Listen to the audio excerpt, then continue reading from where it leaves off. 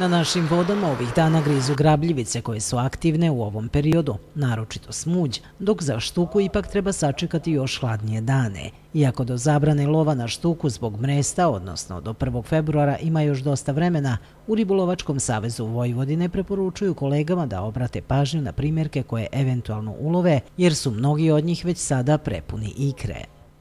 Savisni ribolovci oni sada i već polako i ne pecaju štuku i ne pecaju ovaj, smuđa, eto, samo iz ovog razloga. Znači, što se tiče zakona, da, u redu, dozvoljeno je, ali mi, znači, riba je već pod ikrom i riba je već spremna za, misli, sprema se za mrest.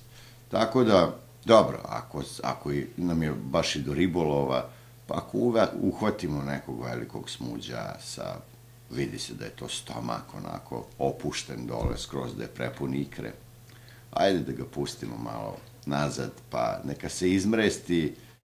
U zaštiti ribljeg fonda, smatra Jovanović, zakonodavac nije našao najsrećnije rešenje kroz zabranu polnozrelih primeraka ribe u mrestu i uvedenih primeraka, odnosno ribe ispod mere, jer se, kako je naveo, riba ne mresti samo jednom u životu, a i manji primerci će jednom dostići polnu zrelost gde je spašavanje ribljeg fonda? Znači, jaka ribočuvarska služba i broj komada. Pa, na primjer, da se propiše, a sada je trenutno to tri primjerka. Neka bude ta tri primjerka, pa neka bude od 20 cm. Ali, ako ribočuvar pronađe e, ribolovca sa četvrtim smuđem, e, onda će platiti kaznu da će mu, se, više mu se neće pecati u, u, u životu. Mislim da je to prava mera za zaštitu ribljeg fonda.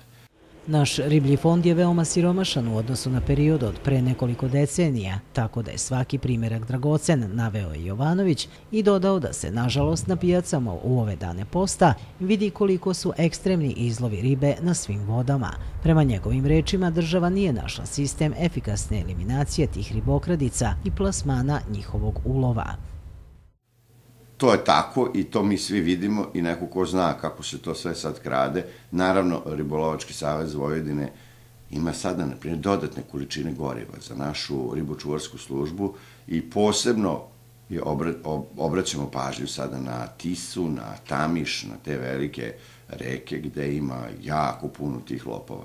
I mogu vam reći da iako nije vreme baš e, neko, neko posebno dobro, za ribolov, pogotovo privrednim alatom, ovaj, ali ima ih dosta. Ipak još uvek ima ljubitelja prirode i ribolova koji pecaju na legalan način uz ribolovačke dozvole koje im važe do kraja ovog meseca. Svi oni koji bi da na vreme nabave ovaj dokument, od danas to mogu i da učine. Građani dozvole za 2018. mogu kupiti u prostorijama Ribolovačkog saveza Vojvodine, u prodavnici ribolovačke opreme kod Limanske pijace ili putem njihove internet stranice, kao i na rate preko sindikata preduzeća u kojima su zaposleni.